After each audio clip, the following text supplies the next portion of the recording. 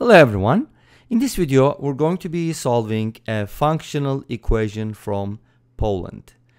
f of x plus y minus f of x minus y is equal to f of x times f of y. From real numbers to real numbers, we're going to go ahead and find the function f that satisfies this equation. All right, we're going to do this step by step, and I'm going to try to go over every step this is probably not the only way to solve this problem. If you have alternatives, please let us know in the comment section down below. Let's get started. So first step, I'm going to go ahead and replace x and y with 0.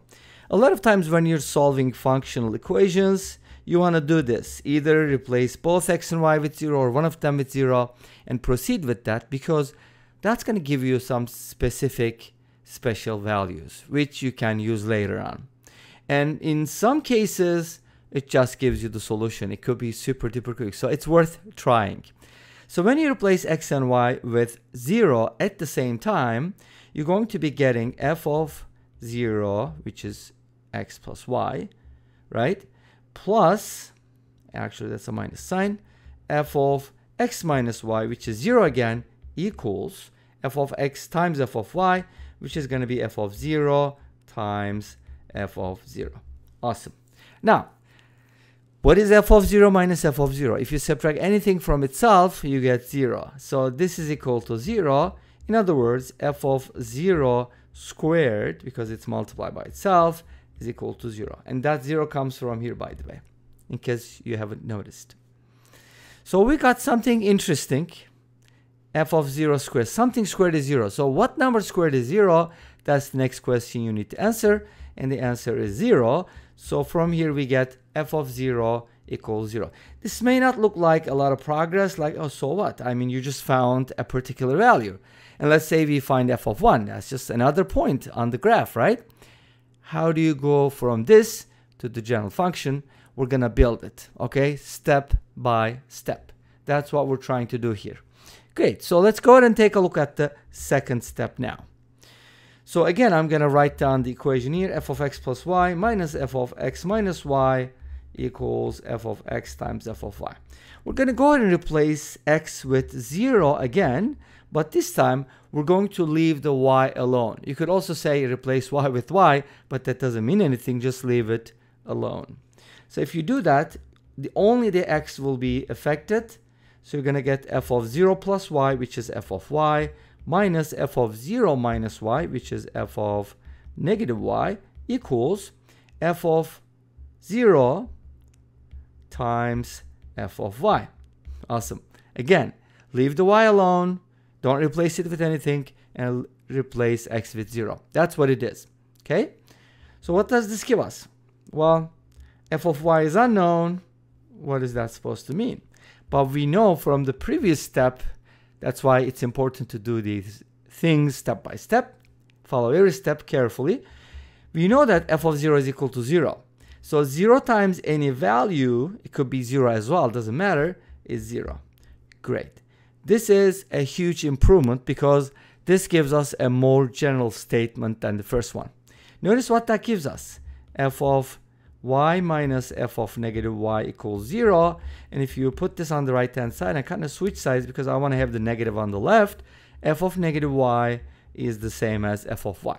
This is really cool because this tells you that, okay, if you change your input to its opposite, you still get the same output. And this just means that f is even. Now, knowing f is even or odd is a good thing because think about it, for example, in terms of polynomials, which functions are even? F of x equals x squared is even, but g of x equals x cubed is an odd function. So that definitely gives us an idea. If f is a polynomial, then we should be uh, able to, you know, kind of think about what it looks like. That's the second step. So let's go ahead and talk about the third step. The third step is replacing y with x. And this could also be interpreted as replacing x with y, doesn't matter, it should give you the same thing. All right, great. So let's go ahead and do it. We had f of x plus y and f of x minus y, so they're being subtracted. Hopefully by this time you memorized this. So I'm going to replace y with x. So it's going to be f of x plus x minus f of x minus x equals f of x times f of x. So everything turns into x because we replace y with x. Isn't that cool? Now let's go look at the conclusion from here. F of 2x, this is going to be minus f of 0, and this will be f of x squared. Great. This is also another general statement that can be used because notice you can replace x with pretty much anything from the set of real numbers. But we're not going to do it. We're just going to simplify as much as possible. f of 0 is 0. Remember, that was the very first thing we found. See how valuable that is? That's why we had to do that first. And from here, we get the following. f of 2x equals f of x squared. Great. Now, you might just take it to another level and say, make some inferences like, okay, do you think f of 3x is going to be f of x cubed or f of n times x where n is an integer is going to be f of x to the power n? You can definitely make a suggestion like guess and then check. And guess and check might sound like a really loose method, but it's actually induction, right? You make a guess and then if uh, it holds for certain values, let's say for x equals or for n equals 2, and then if you can show uh, or just assume that it holds in the general case and that assumption implies the next case, then you kind of get a stair of cases. And then that kind of gives you a general consequence or result. Okay? So far, we got the following statements. Let's go ahead and proceed with the next step, which is step number four. In step number four, we're going to replace. Now, so far, let's go ahead and recap what we've done. We replace x and y with 0 at the same time, and that's important by the way. And then we just replace x with 0 without touching the y. And then we replace y with x, which turned everything into uh, this form so that everything is in, term of, in terms of x, which is nice. And then, uh, by the way, if you replace x with y, you should be getting the exact same thing for f of 2y, which wouldn't really be anything additional. And uh, step number four, we're going to replace y with negative x. Awesome.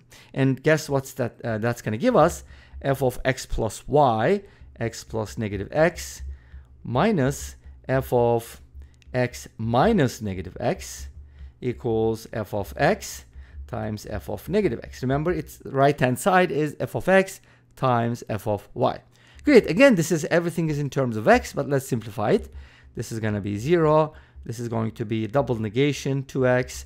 So we get f of 0 minus, pay attention to the sign, f of 2x equals f of x times f of negative x. This might look a little confusing because even though we do know, okay, f of 0 is 0, this kind of gives us something weird because we kind of have too many unknowns, right? What is f of 2x? What is f of x? What is f of negative x? But wait a minute, you can really come up with something nice from here. You know why? Because f of 2x, I can replace it with something. How? Look at step number 3. f of 2x is the same as f of x squared. Let's do that. We're going to replace f of 2x with f of x squared. Great. But of course, you have a minus sign, so you just have to keep the minus sign, right? And then f of x and f of negative x. Did we get that before? We did. Take a look at step number two. That's why keeping track of steps is important. We got f of negative y is f of y, and f is even. But wait a minute, this is not f of y, it's f of x and f of negative x. It doesn't matter, those are just dummy variables. This means it applies in this case too. f of negative x is the same as f of x. So this is f of x times f of x, which is f of x squared. Uh-oh. Did we get the same thing? Well, sort of, with the opposite sign. If we got f of x squared equals f of x squared, that would be really silly because that wouldn't really give us anything. 0 equals 0 is not like really something new, right? So, but this is different because they come with different coefficients, which is nice.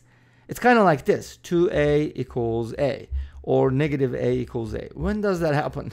When a is 0, of course, right? So if you put everything on the same side, you get f of x squared times 2 equals 0, which implies that f of x squared is 0. And again, we kind of come back to square number one or step number one. What number squared is zero? The answer is zero. So f of x equals zero from here. But this is true for all x values that are in the domain, which means it's a general statement, which means our function is identically zero. Again, this is building something step by step. I hope you are able to or you were able to follow the steps. Let me know how that went. And this brings us to the end of this video. Thanks for watching. I hope you enjoyed it. Please let me know. Don't forget to comment, like, and subscribe. I'll see you next time with another video. Until then, be safe, take care, and bye-bye.